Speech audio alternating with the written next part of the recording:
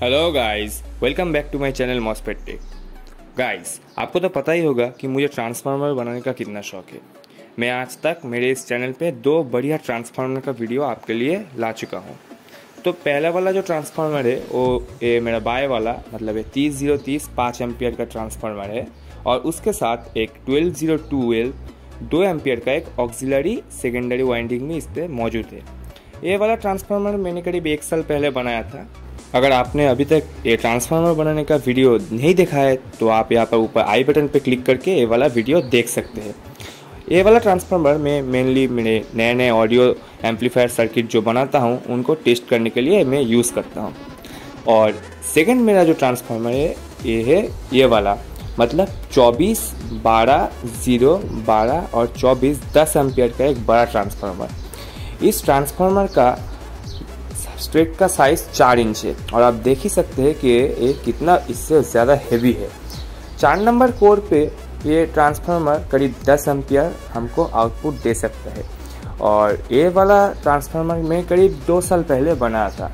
अगर आपने अभी तक ये वाला वीडियो नहीं देखा है तो आप यहाँ पर ऊपर आई बटन पे क्लिक कर सकते हैं और ये वाला ट्रांसफार्मर बनाने का वीडियो भी देख सकते हैं। तो ये दो ट्रांसफार्मर तो मुझे बहुत ज़्यादा अपने नए नए सर्किट्स को टेस्ट करने के लिए बहुत ज़्यादा ज़रूरत पड़ता है। और आप लोग का कुछ दिन से मुझे कमेंट आ रहा था कि, सर, आप कोई तीन नंबर कोड पे ट्रांसफार्मर बनाने का वीडियो दीजिए। और हाँ मुझे पता है कि चार नंबर कोड थोड़ा साइज़ में बड़ा होता है तीन नंबर कोड से। इसलिए कुछ कुछ एम्पलीफायर या हमारे कुछ कुछ कैबिनेट में चार नंबर कोड का ये बड़ा बड़ा ट्रांसफार्मर फिट नहीं बैठता है। तो आज आपके लिए मैं एक तीन नंबर कोड पे बारह ज़ीरो बारह पाँच एम्पियर विथ ज़ीरो ट्वेल्व डेढ़ एम्पियर का एक सेकेंडरी वाइंडिंग वाला ट्रांसफार्मर बनाऊँगा। और उसके लिए मैं यूज़ करूँगा, मेरे पास पड़ा हुआ दो पुराना ट्रांसफार्मर एक है ये वाला, जो एक स्टेबलाइजर का ट्रांसफार्मर है, और एक है ये वाला, जो एक पुराना यूपीएस का ट्रांसफार्मर है। तो मैं ये दो ट्रांसफार्मर तो एक कवाड़ी के दुकान से खरीद के लाया था। तो इनका कोर को हम लोग यूज़ करेंगे। आप लोग देख ही सकते हैं कि ये सब तीन नंबर कोर है, जो चार नंबर कोर से थोड़ा साइज़ पे छोटा भी है। ठीक है? तो ये वाला कोर को हम लोग यूज़ करेंगे। इसका सिर्फ़ ट्रांसफार्मर का हम लोग कोर को यूज़ करेंगे और इसका जो पुराना वाइंडिंग्स है, इसको हम लोग फेंक देंगे। ठीक है? तो आज इस वीडियो में मैं आपको दिखाऊँगा कि कैसे ये दो तीन नंबर का पुराना कोर को हम लोग यूज़ करके एक नया बारह ज़ीरो बारह पाँच एम्पियर का एक ट्रांसफार्मर हम बनाएँगे। तो चलिए, बिना समय गवाए वीडियो को शुरू करते हैं। लेकिन वीडियो शुरू करने से पहले मैं आपसे तहे दिल से हाथ जोड़ के बोलना चाहता हूँ। कि अगर आपने अभी तक मेरे चैनल को सब्सक्राइब नहीं किया है तो प्लीज़ सब्सक्राइब कर दीजिए। आप लोग अगर मुझे सब्सक्राइब करते हैं तो मुझे भी थोड़ा मोटिवेशन मिलता है कि आपके लिए ऐसे नए नए वीडियो लाते रहूँ। तो ठीक है, चलिए आज का वीडियो शुरू करते हैं।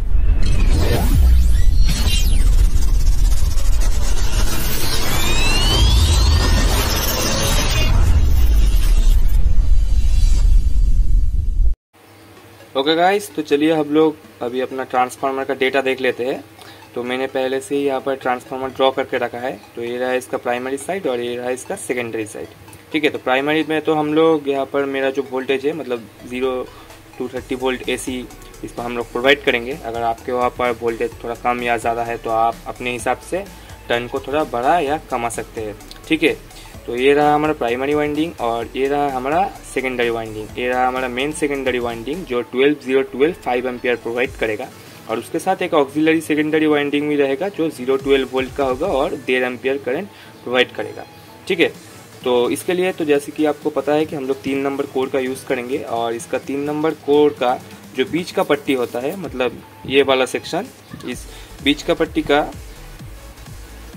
अगर हम लोग चौड़ाई देखेंगे तो करीब होगा ये सोलह एक इंची मतलब वन पॉइंट, देखिए सकते one point two five inch. ठीक है? तो अभी हम लोग क्या करेंगे? पहले हम लोग इस ट्रांसफार्मर का क्रॉस एरिया निकालेंगे मतलब क्रॉस एरिया या कोर एरिया आप लोग बोल सकते हैं। कोर एरिया और इसका तीन नंबर कोर का जो बीच का पट्टी होता है, उसका साइज़ है one point two five inch. और उसके साथ हम लोग गुण करेंगे गुना देंगे, हमारा ट्रांसफार्मर का जो स्ट्रेक होगा स्ट्रेक यानी ट्रांसफार्मर का इस मोटाई को बोलते हैं तो इसका स्ट्रेक होगा दो इंच। हम लोग दो इंच का एक ट्रांसफार्मर बनाएँगे। तो इसको अगर गुना करेंगे तो हमको 2.5 स्क्वायर इंच इस ट्रांसफार्मर का क्रॉस एरिया निकलेगा। ठीक है? और अगर हम लोग, अभी हम लोग टीपीपी मतलब टर्न पर वोल्ट इस ट्रांसफार्मर का निकालेंगे, ठीक है? तो टर्न पर वोल्ट निकालने के लिए मेरे पास अच्छा क्वालिटी का कोड है, इसलिए मैं 7.5 को जो हम इस ट्रांसफार्मर का जो क्रॉस एरिया है मतलब 2.5 उस क्रॉस एरिया से इसको भाग दूँगा। तो ये होगा 7.5 डिवाइडेड बाई 2.5 मतलब तीन।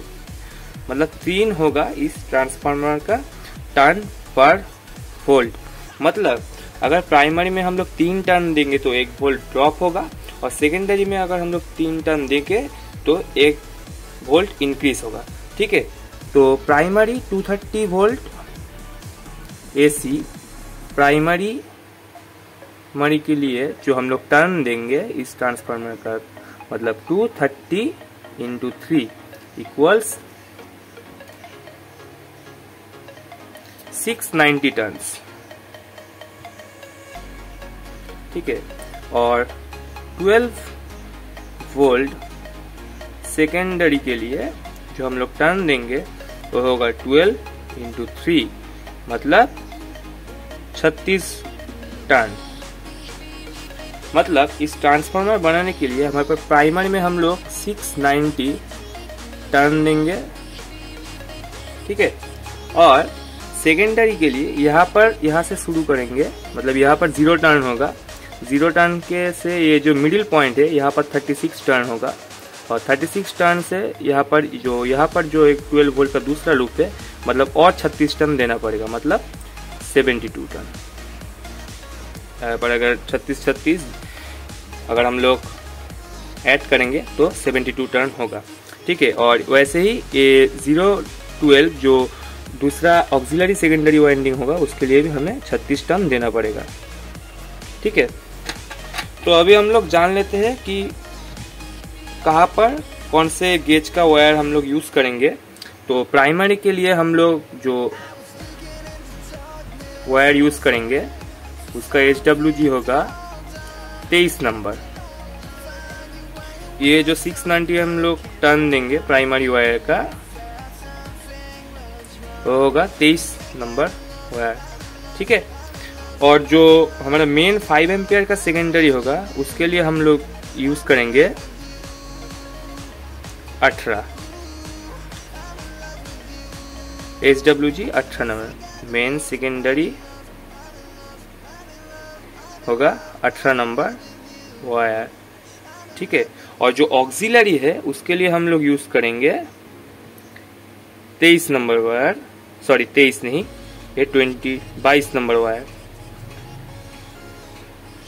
ऑक्सिलरी सेकेंडरी के लिए हमें लगेगा 22 नंबर वायर अगर आप चाहे तो यहाँ पर 23 नंबर वायर भी यूज़ कर सकते हैं, लेकिन वहाँ पर आपको डेढ़ एम्पियर करंट नहीं मिलेगा, उससे थोड़ा कम एम्पियर मिलेगा।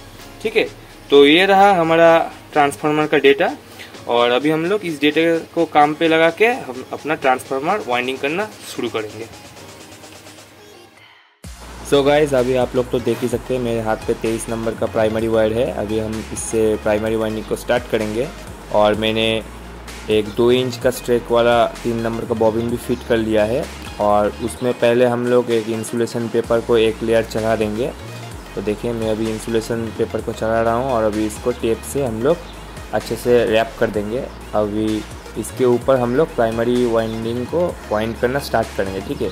तो अच्छी तरीके से पहले टेप लगा लेंगे। तो अभी मैंने टेप लगा दिया है और अभी हम लोग एक छोटा सा वायर स्लिप काटेंगे।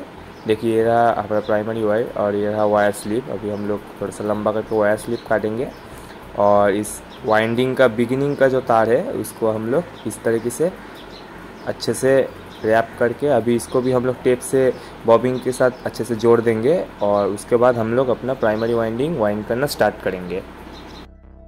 मेरे आपसे विनती है कि आप वीडियो को स्किप मत करिए। अगर स्किप कर देंगे तो आपको कुछ कुछ जगह पे समझने में प्रॉब्लम होगा। फिर आप लोग फिर से कमेंट करेंगे कि भाई ये जगह समझ में नहीं आया। सर, आप इस जगह को अच्छे से समझाइए।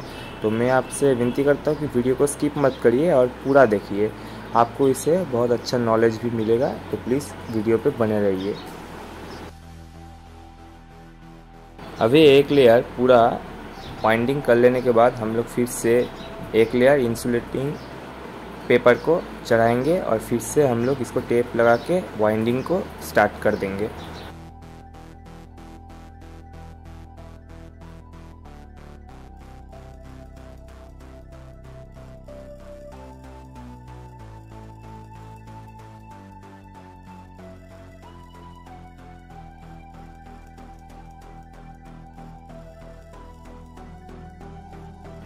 सो so गाइज़ इसी के साथ मेरा 690 टन देना कंप्लीट हो चुका है और आप लोग देख ही सकते हैं कि अभी प्राइमरी वाइंडिंग हमारा रेडी हो चुका है। तो थोड़ा सा ज़्यादा वायर काट के हम लोग फिर से एक वायर स्लिप काटेंगे और वाइंडिंग का एंड को हम लोग फिर से आइसोलेट करके अच्छी तरीके से टेप लगा देंगे जा, जाते वाइंडिंग खुल ना जाए फिर से ठीक है? और उसके ऊपर से फिर से हम लोग वाइंडिंग पेपर को चढ़ा देंगे एक लेयर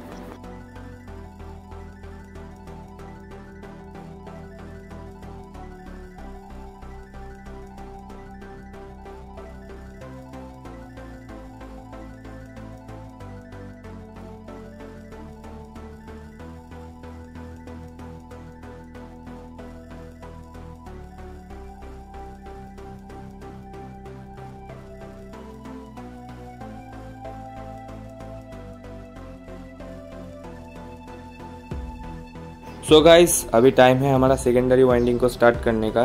तो ये रहा हमारा अठारह नंबर का वायर तो इसके लिए मैंने थोड़ा वो मोटा वायर स्लिप काट लिया है। और अभी हम लोग इस वायर स्लिप का, इस वाइंडिंग का बिगिनिंग को अच्छे तरीके से टेप लगा देंगे। और अभी हम लोग इसमें फिर से वाइंडिंग करना स्टार्ट करेंगे।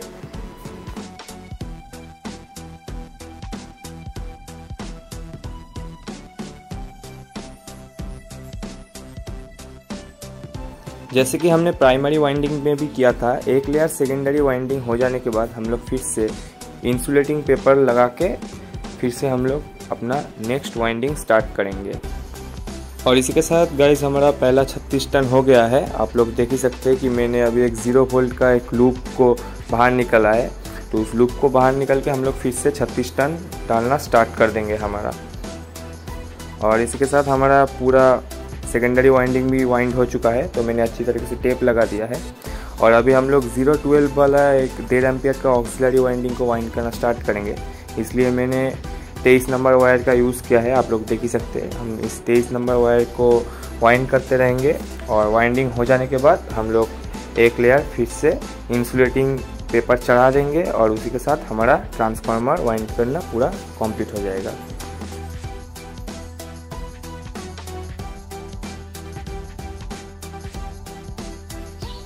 सो so गाइस हमारा ट्रांसफार्मर का तो कॉयल वाइंडिंग करना अभी हमारा ख़त्म हो गया है।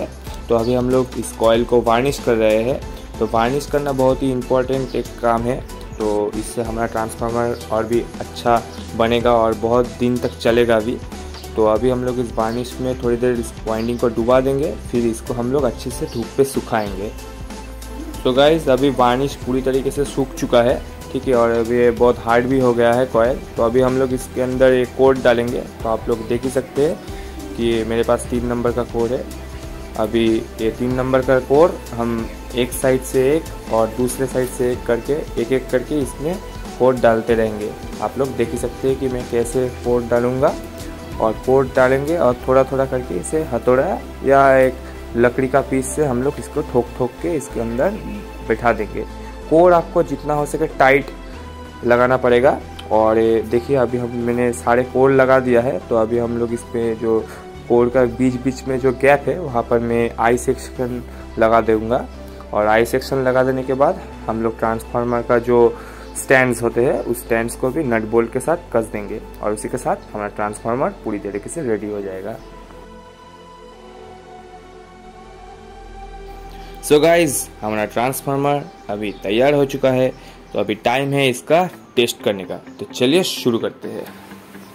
सो गाइस हमारा ट्रांसफार्मर अभी पूरी तरीके से रेडी हो चुका है तो चलिए अभी हम लोग इसको टेस्ट करेंगे। तो टेस्ट करने के लिए मैं अपना सीरीज़ टेस्ट लैम्प का यूज़ करूँगा। तो यह है उसका दो तार। अब देखिए, जब मैं दोनों तार को लगाऊँगा तो देखिए पर सीरीज़ टेस्ट लैम्प ग्लो हो रहा है।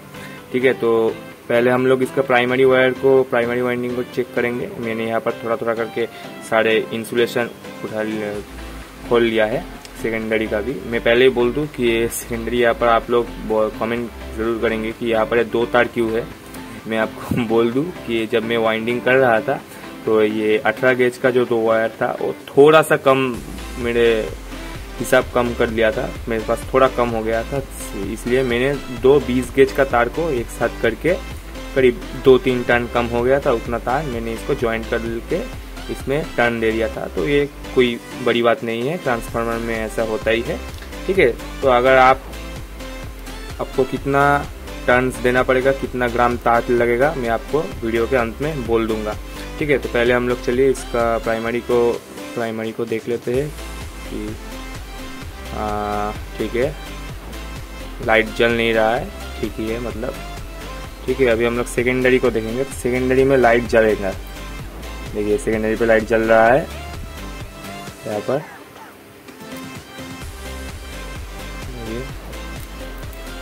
सेकेंडरी पे भी लाइट जल रहा है। मतलब ये वाइंडिंग भी सही है। और अभी ये बारह ज़ीरो का जो एक ऑक्सिलरी सेकेंडरी वाइंडिंग है लो पावर का, उसका हम लोग देखेंगे। देखिए, यहाँ पर भी जल रहा है। ठीक है। और प्राइमरी से सेकेंडरी पे कोई शॉर्ट सर्किट भी देखिए नहीं दिख रहा है। मैं देख लेता हूँ, आपको फिर से चेक करके दिखा देता हूँ। देखिए देखिए, यहाँ पर लैम्प ग्लो नहीं कर रहा है मतलब ट्रांसफार्मर अभी रेडी है। सो so गाइस अभी मैंने इस ट्रांसफार्मर को मेन पावर के साथ डायरेक्ट ऑन कर दिया है। तो चलिए देखते हैं आउटपुट में कितना वोल्टेज आ रहा है। पहले हम इस लूप पे चेक करेंगे। यहाँ पर आपको ये रीडिंग मिलेगा आपको देखने को, देखिए। तो इस लूप पे आ रहा है करीब 11.2 वोल्ट्स ठीक है? और इस लूप में आ रहा है 11.2 वोल्ट्स मतलब ट्रांसफार्मर अच्छी तरीके से काम कर रहा है। वोल्टेज थोड़ा सा कम है क्योंकि मेरे यहाँ पर थोड़ा पावर शॉर्टेज का प्रॉब्लम चल रहा है तो मुझे लग रहा है इसके लिए ये कम है। अगर आप ये ट्रांसफार्मर बनाएँगे तो कोई प्रॉब्लम नहीं है। आप थोड़ा टर्न एक दो टर्न ज़्यादा भी दे सकते हैं प्राइमरी में सेकेंडरी में सॉरी और इस आउटपुट का जो ऑक्सिलरी सेकेंडरी वाइंडिंग है, वहाँ पर भी हम वोल्टेज देख लेते हैं। तो यहाँ पर वोल्टेज है इलेवन पॉइंट सेवन वोल्ट्स के करीब यहाँ पर हमें मिल, देखने को मिल रहा है। देखिए, ठीक है। और जब हम लोग इसको शॉर्ट करते हैं तो अच्छा स्पार्क भी हमें देखने को मिल रहा है। हमारा ट्रांसफार्मर अच्छी तरीके से काम कर रहा है। तो गाइस मैं आप लोगों को बोल दूँ कि ये ट्रांसफार्मर बनाने के लिए मुझे 23 नंबर का तार 250 ग्राम मतलब 250 ग्राम्स लगा है। और 18 नंबर का तार आप लोग 200 ग्राम लाइए, आपका उससे काम बन जाएगा। और तीन नंबर का कोड आप लोग लीजिए, करीब तीन किलो मतलब ई e और आई सेक्शन मिला के तीन किलो आप लोग कोड लीजिए, आप लोग का काम हो जाएगा। और तेईस नंबर का तार आप पचास ग्राम खरीद सकते हैं, आपका उससे आसानी से पूरा कंप्लीट हो जाएगा ट्रांसफार्मर सो so गाइस आज के लिए बस इतना ही। आशा करता हूँ कि आपको ट्रांसफार्मर बनाने का वीडियो बहुत पसंद आया है। अगर पसंद आया है तो प्लीज़ लाइक कीजिए और मेरी इस वीडियो को शेयर कीजिए। मेरे चैनल पे नए आए हैं तो प्लीज़ प्लीज़ प्लीज़ मेरे चैनल को सब्सक्राइब कीजिए और बाजू वाला बेल आइकन भी दबा दीजिए। अगर आपको ट्रांसफार्मर बनाने में किसी भी तरह का कोई प्रॉब्लम आए तो आप बेझिझक नीचे कमेंट कर सकते हैं। मैं उसको हल करने का पूरा कोशिश करूँगा। तो मिलता हूँ मैं आपके साथ अपने अगले वीडियो पे। तब तक के लिए बाय